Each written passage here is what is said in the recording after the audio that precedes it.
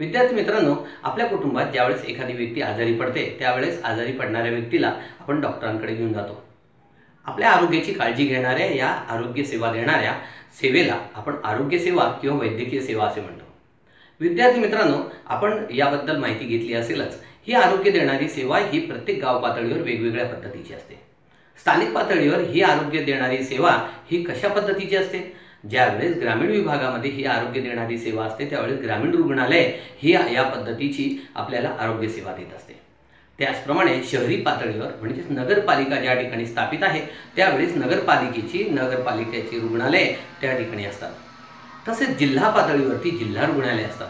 म्हणजेच ग्रामीण रुग्णालय नगरपालिकेची रुग्णालय आणि जिल्हा रुग्णालय अशा पद्धतीची रुग्णालये ही आपल्याला आरोग्य सेवा देत असतात. विद्यार्थी मित्रांनो या आरोग्य देणाऱ्या सेवेच्या व्यतिरिक्त काही खाजगी रुग्णालये देखील असतात. ही खाजगी रुग्णालये ही अत्याधुनिक पद्धतीची असतात. विद्यार्थी मित्रांनो आपल्या या आजच्या काळामध्ये या रुग्णालयांच्या माध्यमातून आपल्या आरोग्याची काळजी घेतली जाते. विद्यार्थी मित्रांनो आपल्या या आरोग्याची काळजी घेण्यासाठी शासन देखील फार तत्पर असते. विद्यार्थी मित्रांनो मध्यंतरीच्या काळामध्ये कोरोनासारख्या मोठ्या महामारीला आपण बघितलेलं आहे.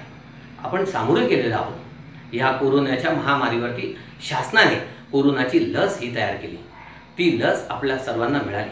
म्हणजेच काय? प्रत्येक या आजारावरती आजार होऊ नये यासाठी तत्परतेने सेवा देणारी ही आपली सेवा यंत्रणा असते. लहानपणापासून आपले आईवडील आपल्याला प्रत्येक वर्षाचे डोस देत असतात.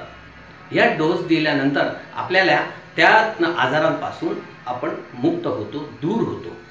काही प्रमाणामध्ये आपलं शरीर हे त्या आजारांविषयी थोडंसं रोगप्रतिकारक शक्ती ही निर्माण करून ठेवतं त्यामुळे आपल्याला ते आजार होत नाही. विद्यार्थी मित्रांनो आपण सजग राहिलं पाहिजे. आजारांवरती रुग्णालयामध्ये जाऊनच उपचार केले पाहिजे.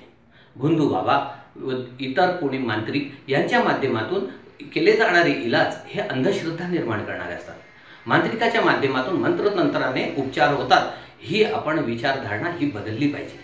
समाजाची ही विचारधारणा बदलणं ही आजची काळाची गरज आहे. रुग्णालयात जाऊन आपण आपली रुग्णसेवा ही घेतली गेली पाहिजे आणि आजारावरती योग्य उपचार हा घेतला गेला पाहिजे. धन्यवाद.